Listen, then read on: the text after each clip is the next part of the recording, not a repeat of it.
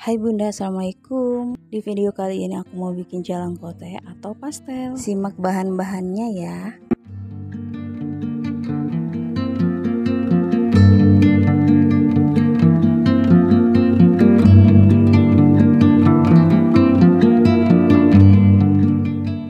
Lalu seperti biasa, kita panaskan minyak terlebih dahulu. Setelah panas kita tumis-tumis bawang putihnya dan osreng-osreng jangan lupa ya supaya tidak gosong. Lalu jangan lupa masukkan ikan suwirnya terlebih dahulu supaya dia menyerap bumbu.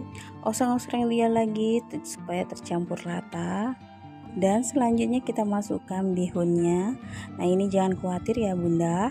Kalau bihunnya kayak kerul-kerul seperti itu nanti kita cacah-cacah sama si sutilnya itu. Nah caranya bagaimana? Caranya itu ditekan-tekan seperti itu ya bunda. Seperti yang aku lakukan. Dan langsung aja orak arik dia akan memisah sendiri ya bun. Jadi nggak perlu dikasih minyak atau numisnya banyak-banyak minyak gitu supaya dia tidak ngecombong minyak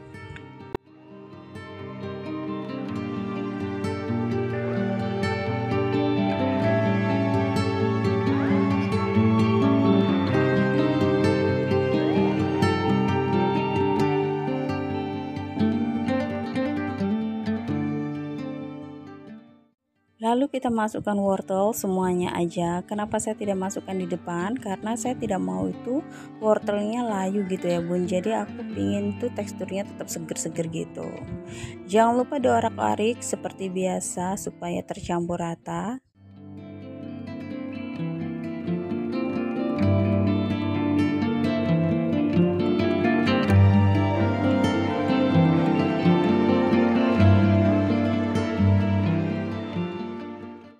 Lalu seperti biasa kita masukkan si bumbunya ini gula dulu. Nah ini untuk takarannya ya bunda. Lebih jelasnya dilihat di deskripsi ya bun. Untuk perbumbuannya kita masukkan semua aja. Takarannya sudah pas. Nah kalau tidak sesuai dengan lidahnya bunda bisa nanti ditambahkan lagi ya bun. Kurang apa atau kurang apanya gitu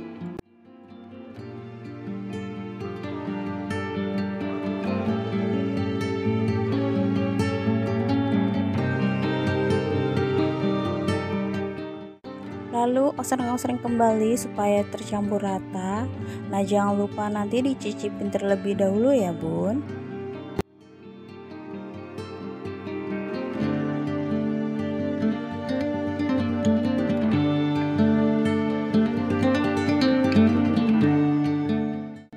sini aku cobain ternyata kurang asin ya bun, jadi aku tambah garam. Lalu aku tambah kaldu jamur juga dan jangan lupa tetap diorak-arik ya bun supaya tercampur rata. Kemudian langkah terakhir masukkan daun bawangnya semua. Nah ini aku campur dengan seledri ya bun.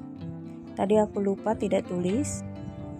Nah ini aku kasih selerinya cukup sedikit aja. Tetap diorak-arik dan sampai tanak ya bun supaya tidak cepat basi.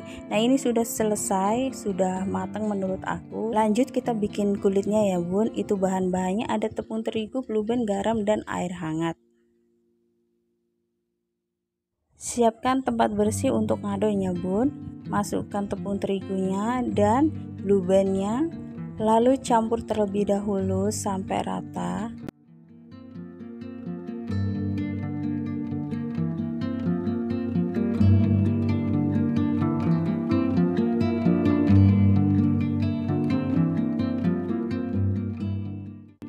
Tambahkan air sedikit demi sedikit dan jangan lupa dikasih garam ya bun.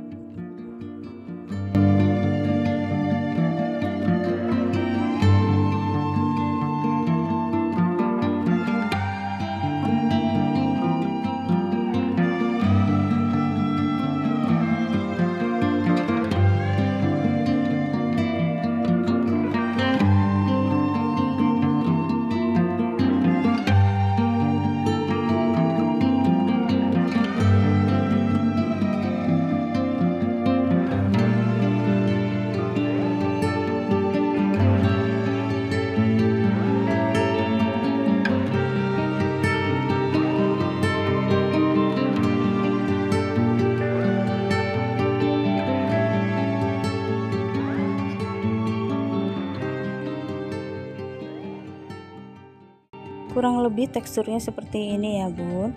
Tidak kering dan juga tidak kelembekan. Nah seperti itu. Lalu sebelum dibentuk kita diamkan 15 menit. 3 2 1 setelah itu kita bagi adonan kalau untuk makan sendiri nggak perlu ditimbang ya bun. Jadi cukup dibagi aja rata. Kalau aku ini untuk dijual ya bun. Jadi aku ukurannya sedang jadi aku buat 35 gram. Kalau bunda mau ukuran sedang itu pakai ukuran 26 gram ya bun. aku cukup satu kali aja timbang ya bun. Setelah itu aku kira-kira aja aku samain dengan perbandingan aja begitu bun maksudnya. Jadi totalnya itu sekitar 48 ya bun. Jangan lupa selalu ditutup dengan kain basah atau kain biasa aja. Dan pipihkan seperti itu seperti saya gitu. Habis itu jangan lupa direkatkan pinggir-pinggirannya dipencet-pencet bun supaya tidak keluar. Nah kita pencet supaya dia ada tekstur kembang-kembang seperti itu.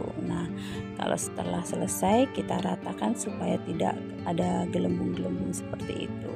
Dan ingat ya bun, kalau setelah dibentuk itu harusnya ditutup ya bun. Nah ini aku karena supaya bunda-bunda tahu, jadi aku sementara nggak ditutup.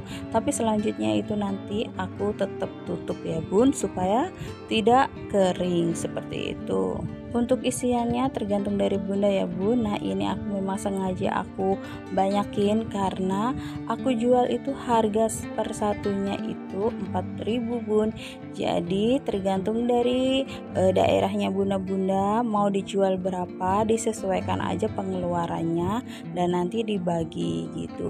Yang intinya kita jualan itu kan nggak mau rugi ya bun. Jadi kita pintar-pintar aja untuk bagaimana kita e, menjual menjualnya dan disesuaikan dengan daerahnya masing-masing.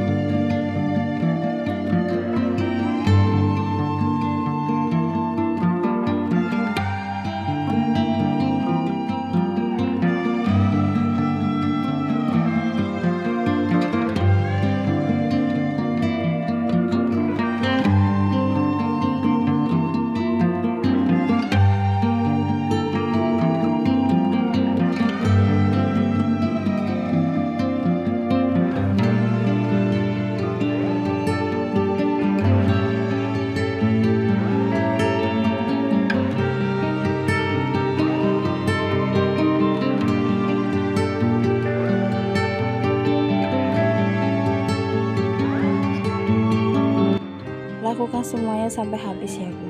Nanti kita tata masing-masing di uh, tempat tampah atau lengsa ini aku lanjut untuk membentuknya dulu ya.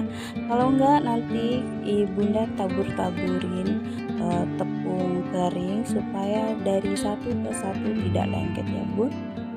Karena ini aku mau langsung goreng jadi aku nggak perlu untuk ditaburin si tepungnya lagi begitu. Nah ini udah kelar ya bun hasilnya 48 biji nah kurang lebih seperti ini. Mari kita goreng. Karena tadi aku sudah uh, posting jualan aku dan alhamdulillah banyak yang pesen. Jadi mari kita uh, goreng dan kita packing-packing seperti apa ya kira-kira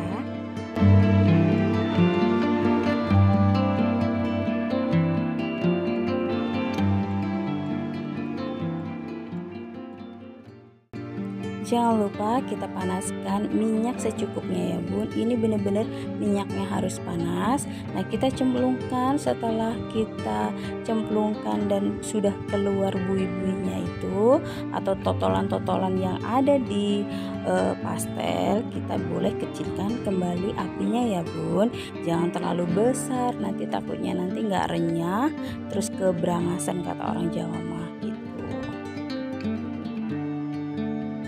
jadi cukup uh, panasnya tuh ketika kita baru nyemplungkan aja supaya keluar buih-buihnya dan uh, kita kecilkan kembali sampai dia matang. Dan sama ya bun kalau seandainya kita mau masukkan uh, yang kedua itu harus kita menunggu panas kembali ya bun supaya apa kembangannya itu atau apa ya namanya itu totolan-totolan itu dia tetap keluar. Kalau misalkan halus-halus aja kan uh, kalau menurut aku kurang bagus ya bun. Jadi memang bagusnya itu harus ada yang kayak gitu kayak totolan-totolan gitulah